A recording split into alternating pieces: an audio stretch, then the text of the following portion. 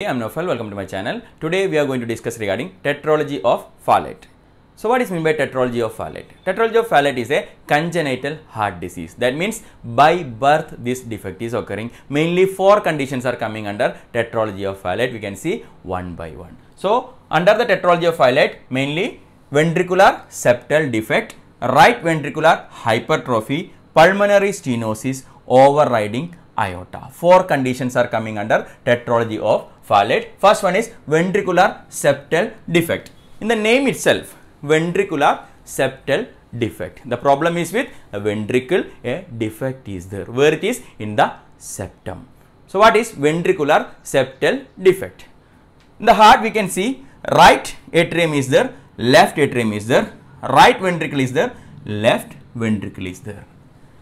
Between the right ventricle and left ventricle. A septum is there that means a partition or a wall is there that is separating. There is no connection between right ventricle and left ventricle. In a normal person there is no connection between right ventricle and left ventricle because a septum is there a wall or a partition is there between right ventricle and left ventricle. But in the ventricular septal defect there will be a abnormal connection or a abnormal opening between right ventricle and left ventricle. There will be a abnormal connection or abnormal opening between right ventricle and left ventricle. So what will happen? We know in the right side of the heart it is deoxygenated blood. Oxygen is not there in the right side of the heart. And in the left side it is oxygenated blood. Oxygen is there in the left side of the heart. Right in the left side oxygenated blood. And in the right side deoxygenated blood. So here there is a abnormal opening between right ventricle and left ventricle. Okay there is a abnormal opening between right ventricle and left ventricle. So the deoxygenated blood and the oxygenated blood will mix. That is ventricular septal defect problem is in the ventricle okay? Between the septum a opening is coming and that is the defect. Ventricular septal defect. So the defect is there in the ventricle of the heart. There is a abnormal connection.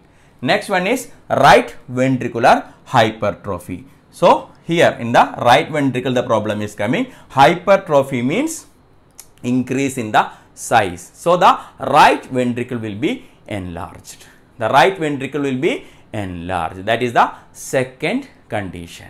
Okay, right ventricular hypertrophy, right ventricle will be enlarged.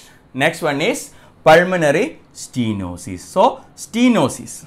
Stenosis means narrowing, narrow or small or stenosis is narrowing. Pulmonary stenosis means pulmonary valve is there. After the right ventricle, the connection of the connection of the pulmonary artery. A valve is there. After the right ventricle a valve is there to the connection of the pulmonary artery. Between the right ventricle and the pulmonary artery a valve is there.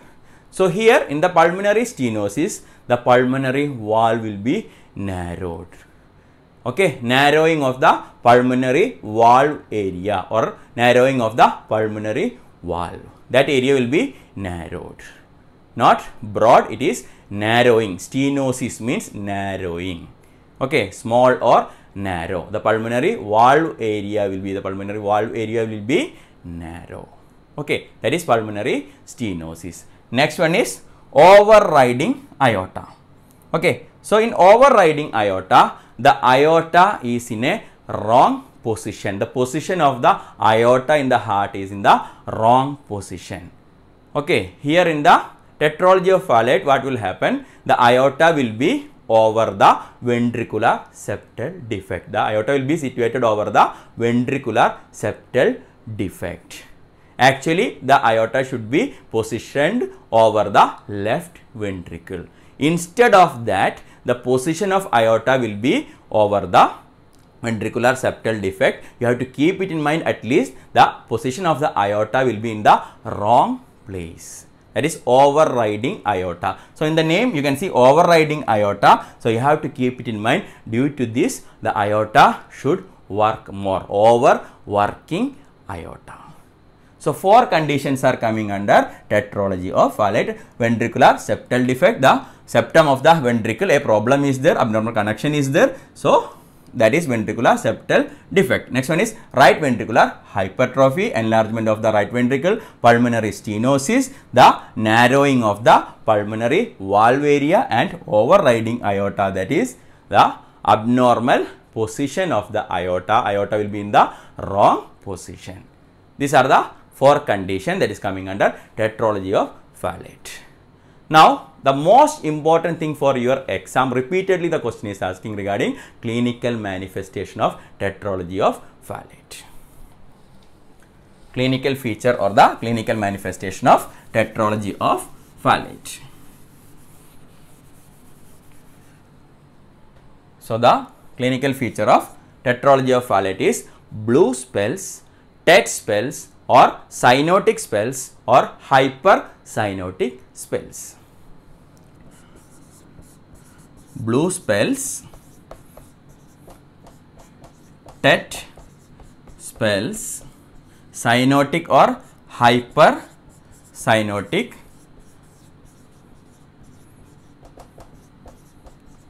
spells. Okay, blue spells, tet spells, hypercyanotic spells. Sometimes the question will be blue spells is present. Identify the disease condition. It is tetralogy of Fallot.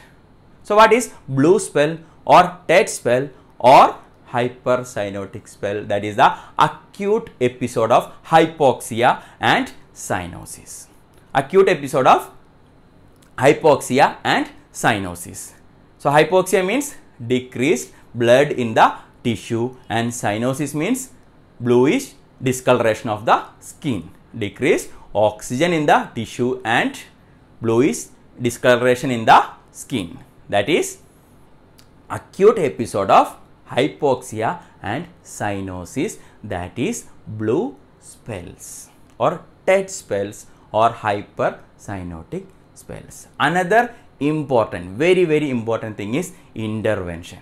Okay. Another important thing coming under tetralogy of Fallot is intervention. So, that is provide knee chest position. That is the intervention of tetralogy of Fallot is provide knee chest position. Okay, provide knee chest position. So, if you are giving knee chest position, it will increase the venous return. The blood flow will increase, return flow of the blood will increase. Okay, that is knee chest position you have to you have to give for blue spells. For the tetralogy of Fallot, if you are seeing blue spells, the immediate intervention will be so many options will be there for your exam. Provide oxygen or provide Fowler's position or provide medication. But the first and foremost priority always keep it in mind the immediate intervention. The first priority is provide knee chest position. Afterwards only you can give oxygen and all. First priority is knee chest position. Now regarding the management, we have to manage the condition with surgical management only. Surgical management is the primary option for tetralogy of Fallot. That's all regarding tetralogy of Fallot. We will meet soon with another video. Till that time, thank you and goodbye.